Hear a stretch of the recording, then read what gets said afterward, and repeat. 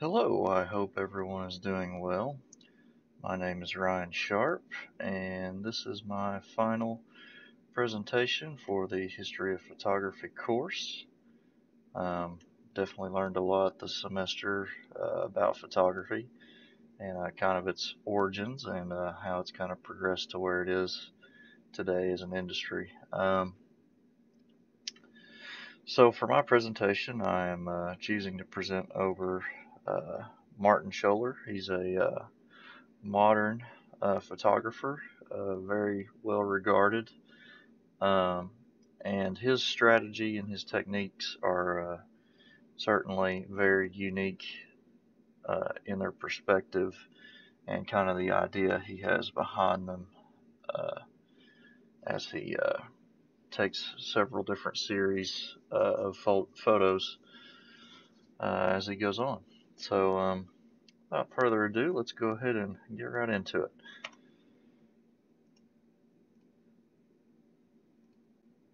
Okay, so Martin Schoeller, uh, this is him pictured here. He was born in 1968 in Munich, Germany. Um, he uh, was kind of grew up in Germany for a while and uh, studied photography in Germany uh, before coming to New York City, uh, where he was an apprentice of another famous photographer uh, before he kind of branched off and started his own work uh, with uh, portraits.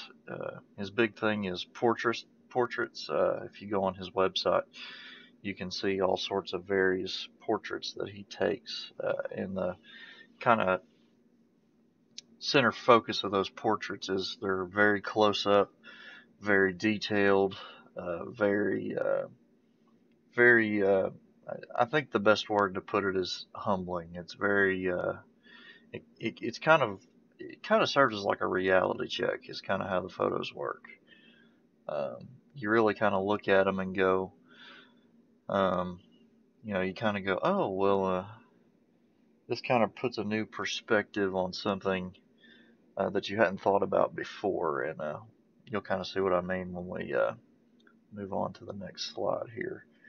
Uh, but that's that's his primary fame. It came from uh, those close-up portraits of various different people, uh, all the way from United States presidents to uh, celebrities to average, ordinary, everyday people. It, he has no um, kind of uh, I guess you could say, levels. Uh, he treats every one of his, uh, I guess, subjects as uh, their own, uh, treats them with the same fairness as everybody else. There's no favoritism for celebrities or anyone like that, which is kind of going to go part of his movement, which we'll talk about next. Um, so, uh, this photo here you can see is kind of a great example of one of the photos he's, he's taken. This one is of uh, the famous actor Robert De Niro. Um, so you can see the picture is very close up. Um, it's very um, detailed. Uh, you can definitely see with the lighting. Uh, there's definitely uh, very bright lighting uh, shown into the subject's face of the photo. Um, and it kind of reveals all the features of their face, uh, their facial expression, uh, possibly the emotions uh, of the person being pictured. Um, in a sense, it can kind of seem a little bit, I, I suppose, creepy too. It's it's kind of like the person is gazing right into the camera, and you're kind of staring into their soul a little bit. Um, but it's it's definitely a unique perspective on how to take uh, portraits. They're very, um, very detailed, uh, and it changes the way you see these people. Like, uh, for example, with Robert De Niro, you see him in a lot of movies. Uh, you see him in the public, but you really don't see this actor in a perspective like this. Uh, this is a very humbling, a very human perspective. Um, from this standpoint of this photo, and you kind of learn uh, more about him in a way uh, from this photograph, and it also kind of places him kind of in the same spectrum as other people because uh, Schoeller, of course, takes photos of just average people as well. Um, so it, it, it, creates kind of an, a sense of equality. Um, another thing he's used this uh, close up technique for is um, for kind of bringing attention to world issues. Um, and the way he does that is he can take photos of people from all over the world. Uh, if you go on his website right now, there's photos of people from various different countries in the world. Uh, and it gives the viewer of the photos kind of a inside look on how uh, the culture is for those countries or what life might be like for people in different countries or in different areas of the world. Uh, so he's able to kind of bring into light those world issues and uh, kind of introduce people to new cultures and new people and kind of broaden our understanding on uh, the rest of the world uh, merely through pictures that are portraits of people. It's it's a very it's a very amazing concept uh, when you think about it. It's able to tell a story just through a portrait. It's pretty cool. So that's kind of the movement uh, that kind of goes along with what Schoeller does. Um, it's this humbling equality kind of uh, and bringing attention and introducing to new cultures, new people, and uh, that kind of uh, that kind of stuff. So um, that's the movement. Let's move on to the aspects of his photography. So let me talk just a little bit more about uh, the different aspects of his pictures. Um, so you can see in this picture here, just like the last picture, it's a very close up of a person's face. Um, a lot of detail. Um, and this uh, this photo I have copied here, of course, it it definitely uh, looks a little bit um, pixelated. Uh, that's only because it's been blown up. Um, but uh, in a regular sense, um, these photos are very clear. They're very detailed. You can see just about every aspect. It's it's all it's it's it's basically like you're sitting in the same room as the person uh, being pictured. Uh, and you're learning a lot about the people being pictured, whether no matter who it is, whether it's uh, an actor or a celebrity, presidents, political figures, uh, or just uh, average people. Um, so, extreme close-ups of the face. Uh, there's a lot of detail. Uh, lighting's a big thing with Schoeller's photographs, and um, as well as um, kind of the focus on the facial expression uh, of the person in the picture. Um, kind of these photos remind me a lot, I would say, of kind of like the Mona Lisa. It's it, it's you look at them and you're I think the viewer tries to discern what the emotion of the person being pictured is. Um, I think in this picture, for example, this person seems to display uh, confidence, um, and I think that's kind of the same kind of concept. People always want to try and guess what emotion uh, the Mona Lisa has, whether it's a smile or uh, confidence, and this is kind of a similar uh, aspect with these photographs. So that's kind of the aspects of his photos and the movement.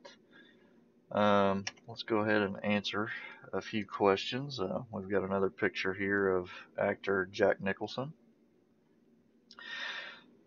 So, what captured my attention about this uh, author, uh, and I learned about him through one of our uh, discussion posts, and um, I kind of looked into him a little bit more, and that's kind of why I decided to present on him for the final project.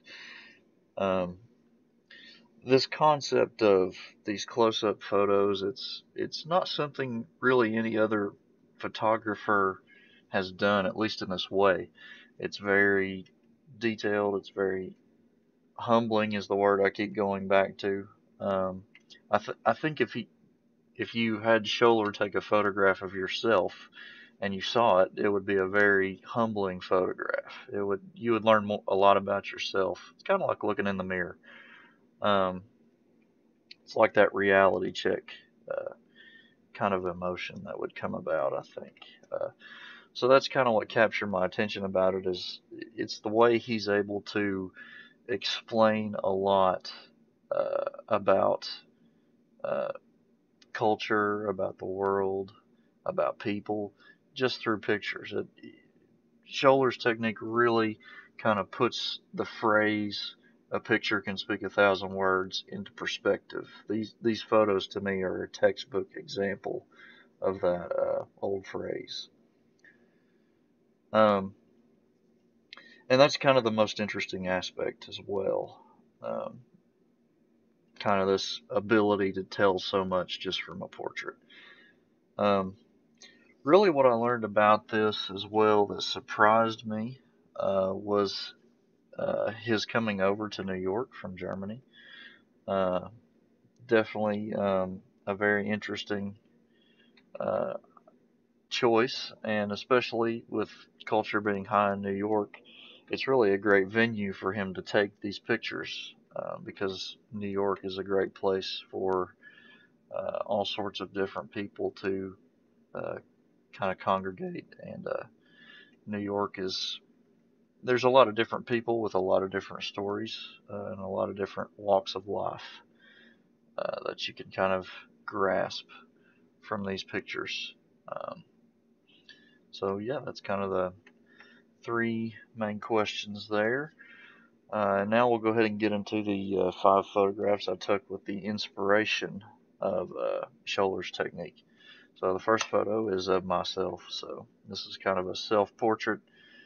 Um, so I can't really, of course, with my iPhone accomplish the same uh, kind of close-up technique, uh, but it got pretty detailed, I would say. Um, and this is kind of what I'm going back to what I was talking about before. This is kind of that real reality check. It's like looking in the mirror even as I'm looking at it now. Uh, so, kind of that reality check kind of idea that goes along with this. Um, next picture. Uh, this is my nephew, uh, and uh, he smiled real big for the camera.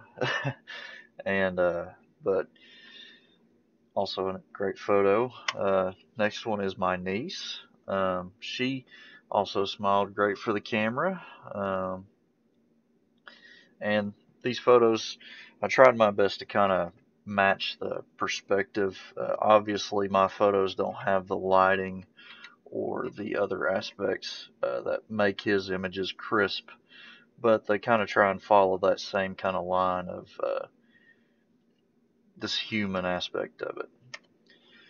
Um, now going against that grain, um, the final two pictures I decided to take uh, of our two dogs. Uh, this is my dog Cruiser. Um, he's quite an old dog, uh, but uh, he uh, he posed for the uh, for the portrait shot there, and he did pretty good. And finally, this is Toby. he also did a really good job.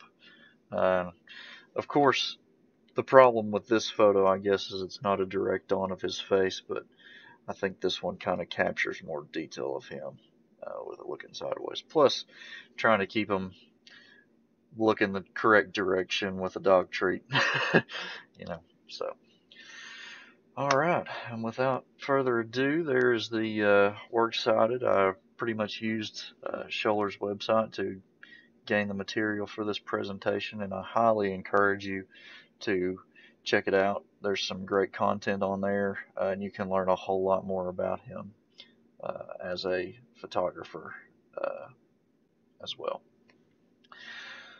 So I appreciate you watching. Uh, thank you so much. Um, it's been a great uh, five weeks, and I've definitely learned a lot about photography, and I think I've kind of grown in this uh, kind of aspect that I've wanted to learn a lot more about. So.